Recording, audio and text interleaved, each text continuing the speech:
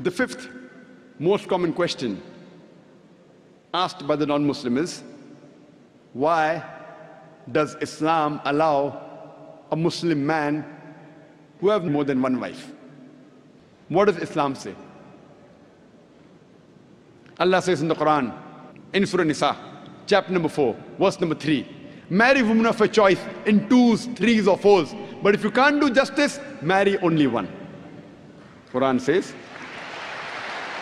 marry women of your choice in twos, threes or fours. But if you can't do justice, marry only one. That means only if you can do justice can you marry two, three or four, otherwise marry only one.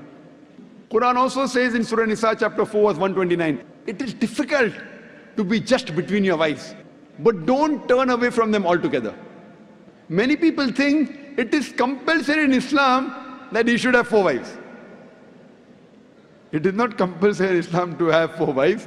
It is optional. Marrying more than one woman is optional in Islam. It is mubah.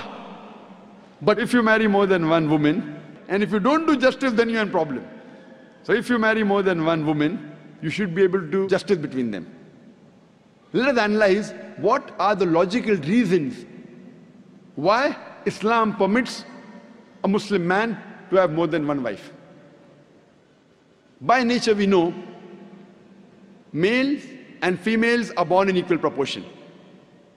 But in the pediatric age itself, you ask any medical doctor, he will tell you that medically the female sex is a stronger sex. The female child has more immunity than a male child. The female child can fight the germs and diseases much better than the male child. So in pediatric age itself, there are more deaths among the male children as compared to female children. So in the pediatric age itself, there are more females as compared to males. There are wars taking place. In the wars, there are more men who are being killed as compared to women. As life goes on, deaths take place due to accidents, due to alcoholism, due to drug addiction, due to disease. In all these cases, more males are dying as compared to females. And today's statistics tell us that the average span of a woman is much more than the average span of a man. Today, there are more females in the world as compared to males. In some third world countries, like India, where I come from, the female population is less than the male population. And the reason is because of female infanticide and female feticide. There's a program by the name Let Her Die under the banner assignment. It came on BBC, where a British reporter by the name of Emily Buchanan, she says that every day more than 3,000 fetuses are being aborted after they identified that they're females. In India alone, more than 3,000 fetuses are being aborted after they identified that they're females. If you multiply this number by 365, the number of days in a year, we get a figure of more than 1 million fetuses are being aborted every year in India after they identified that they're females. And according to the report of the government hospital of Tamil Nadu, out of 10 females born alive, 4 are put to death. If this evil practice of female infanticide and female feticide stops in India, even in India, in a few decades, the female population will outnumber the male population.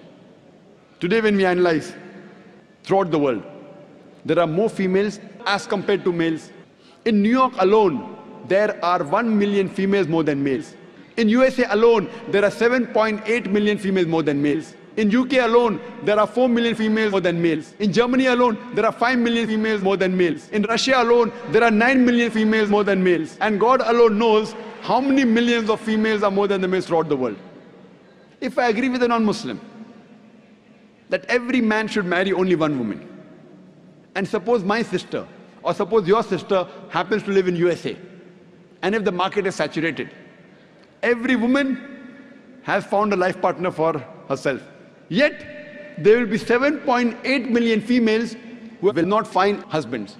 And if, unfortunately, your sister or my sister happens to live in USA, and if she's amongst one of those 7.8 million females who has not found a husband, what's the option she has? The only option she has is that she either marries a man who already has a wife or she becomes public property. Public property? Many people say, Dr. Zakir Naik, such a harsh word. It is the most sophisticated word I can use. I cannot think of a better word. There's no option. She either marries a man who already has a wife or become public property. In America, having mistresses is very common. The American statistics tell us on an average, a man has eight different sexual partners before he settles down with one. Eight different, some may have five, some may have ten, some may have twenty. Eight different sexual partners before he marries. After marry, how many has, the statistics doesn't say that. But before he marries, he has on an average eight different sexual partners. Having mistresses in America is common, no problem. 10, 20, no problem. Having two wives doesn't go down the throat. You know, when a woman becomes the second wife of a man, she gets honor, she gets a right. She lives a very peaceful life with grace, with honor, with all her rights. And when a woman is a mistress, she doesn't get her rights, she has no protection, she leads a life of disgrace. Therefore, Islam permits some men to have more than one wife to protect the woman. And I do agree. If someone tells me that no woman would like to share the husband, I agree with them. I don't argue. I agree with you that no woman under normal circumstances would like to share the husband. But the Islamic Sharia says, let a small loss take place to prevent a big loss. That means a good Muslimah who knows the situation of the world would not mind sharing a husband to prevent her sister from becoming a public property. You ask any modest woman, would she prefer becoming the wife of a man who already has a wife or becoming public property? Any modest woman would choose the first one.